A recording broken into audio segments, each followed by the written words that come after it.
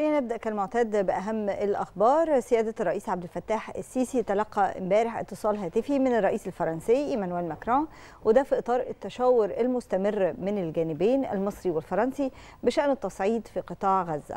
واستعرض سيادة الرئيس رؤية مصر بشأن ضرورة الوقف الفوري لإطلاق النار. خلال الاتصال اتفق الطرفان على أهمية إيجاد حلول عاجلة للأزمة الجارية والتحرك لضمان نفاذ المساعدات الإنسانية مع تأكيد أهمية البدء في عملية سياسية شاملة بهدف الوصول إلى تسوية عادلة للقضية الفلسطينية على أساس حل الدولتين. كمان امبارح استقبل سيادة الرئيس عبد الفتاح السيسي وزير القوات المسلحة الفرنسية سيباستيان لوكورنو وذلك بحضور وزير الدفاع والإنتاج الحربي الفريق أول محمد زكي وجاء اللقاء في إطار حرص الجانب الفرنسي على إطلاع الرئيس السيسي على نتائج جولته الإقليمية خلال الأيام الماضية في ضوء المساعي الدولية للتهدئة في المنطقة. كمان اللقاء تطرق للدور المحوري لمصر على المسارين السياسي والإنساني لحقن دماء الأشقاء الفلسطينيين في قطاع غزة والتوصل لوقف الإطلاق النار وحماية المدنيين وإنفاذ المساعدات الإنسانية لأهالي غزة. استقبل السيد الرئيس عبد الفتاح السيسي سيباستيان لوكورنو وزير القوات المسلحة الفرنسية وذلك بحضور الفريق أول محمد زكي وزير الدفاع والإنتاج الحربي. المتحدث الرسمي باسم رئاسة الجمهورية صرح بأن اللقاء جاء في إطار حرص الجانب الفرنسي على إطلاع السيد الرئيس على نتائج جولته الإقليمية خلال الأيام الماضية.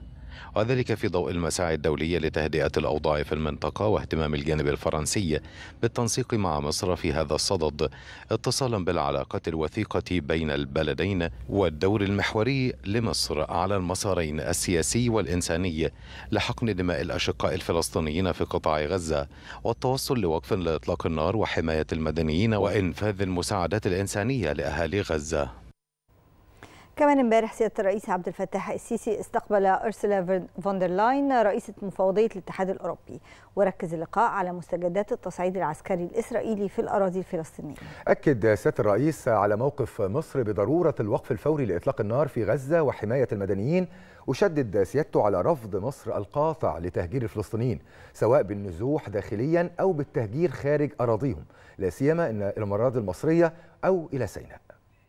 استقبل السيد الرئيس عبد الفتاح السيسي السيدة أورسولا فون دير لاين رئيسة مفوضية الاتحاد الأوروبي. بحضور السيد سامح شكري وزير الخارجية وكبار مسؤولي المفوضية الأوروبية. المتحدث الرسمي باسم رئاسة الجمهورية المستشار أحمد فهمي صرح بأن اللقاء ركز على مستجدات التصعيد العسكري الإسرائيلي في الأراضي الفلسطينية. حيث أكد السيد الرئيس موقف مصر بضرورة الوقف الفوري لإطلاق النار في غزة وحماية المدنيين وضمان إيصال المساعدات الإغاثية لأهل القطاع الذين يتعرضون لمعاناة إنسانية هائلة مشددا على ضرورة اطلاع المجتمع الدولي بمسؤولياته وتنفيذ قراري مجلس الأمن والجمعية العامة للأمم المتحدة في هذا الشأن. ومستعرضا الجهود التي تقوم بها مصر في ذلك السياق إلى جانب استقبال المصابين الفلسطينيين وإجلاء الرعايا الأجانب. من جانبها عرضت رئيسة المفوضية الأوروبية تقييمها لتطورات الأوضاع في غزة وأكدت تقدير الاتحاد الأوروبي البالغ للدور الجوهري الذي تقوم به مصر في هذا الصدد. كما شدد السيد الرئيس خلال اللقاء على رفض مصر القاطع لتهجير الفلسطينيين سواء بالنزوح داخليا أو بالتهجير خارج أراضيهم لا سيما إلى الأراضي المصرية في سيناء. وهو ما اتفقت معه رئيسة المفوضية الأوروبية مؤكدة الموقف الأوروبي برفض التهجير. وأكد الجانبان أن الحل الوحيد للقضية الفلسطينية يكمن في تحقيق السلام الشامل والعادل على أساس حل الدولتين وفقا للمرجعيات الدولية المعتمدة. وذكر المتحدث باسم رئاسة الجمهورية أن اللقاء تطرق أيضا إلى سبل تعزيز علاقات التعاون بين مصر والاتحاد الأوروبي في ضوء ما يجمع الطرفين من روابط وثيقة وتم الاتفاق على مواصلة العمل لتعزيز هذه العلاقات ودفعها إلى آفاق أرحب في مختلف المجالات. امبارح تم إطلاق قافلة صندوق تحيا مصر للمساعدات الإنسانية لأهل غزة تنفيذا لتوجيهات سيادة الرئيس عبد الفتاح السيسي. القافلة بتتضمن ما يقرب من 199 شاحنة محملة بكل الأجهزة والمستلزمات الطبية والأدوية وكميات ضخمة من المواد الغذائية.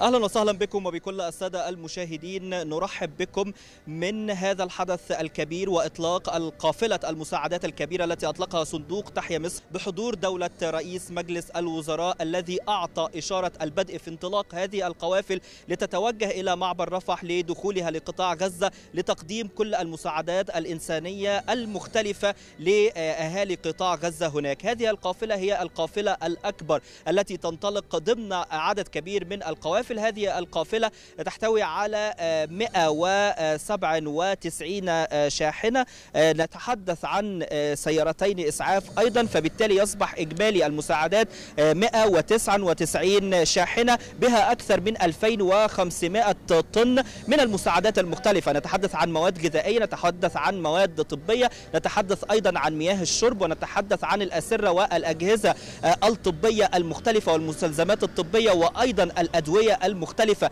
التي يعني أهالي غزة هم بحاجة إليها. ونتحدث أيضا عن 73 ألف بطانية و وأحد عشر إحدى عشر و500 مرتبة. وأيضا نتحدث عن عدد من الكراسي المتحركة. رئيس مجلس الوزراء كان له يعني بعض الرسائل الأهم أن هذا هو الرد الفعل الطبيعي والتلقائي من مصر وموقفها الثابت تجاه القضية الفلسطينية وتقديم الدعم الثابت للإخوة الفلسطينيين. وأيضا أن هذه المساعدات ستستمر على مدار اليوم وعلى مدار الساعة ولن تكون هذه القافلة الأخيرة بل سيكون هناك عدد من القوافل الأخرى خلال الأيام القادمة. وأكد على أن أكثر من ثلثي المساعدات الإنسانية المقدمة لأهالي غزة هي من مصر. فبالتالي يتحدث عن دور كبير لهذه القوافل وأيضا ستستمر هذه القوافل خلال الفترة القادمة. وأكد على دعم القيادة السياسية وتأكيد الرئيس عبد الفتاح السيسي في تقديم كل أوجه الدعم المختلفة للأشقاء في غزة. ستنطلق هذه القوافل لقطاع غزة إلى معبر رفح لتنضم إلى المساعدات والشاحنات هناك لي يعني يتم إدخالها للقطاع وتقديم كل المساعدات للأشقاء في قطاع غزة. ونتحدث عن عدد كبير من المتطوعين وأيضا المؤسسات المجتمع المدني الذي الذين شاركوا في هذه القافلة. ووجه بالطبع السيد رئيس مجلس الوزراء الشكر لهم. فبالتأكيد جهود إنسانية كبيرة تقدمها مصر للأشقاء في قطاع غزة. وستستمر هذه الجهود خلال الفترة القادمة. كل الشكر للزميل محمود جميل.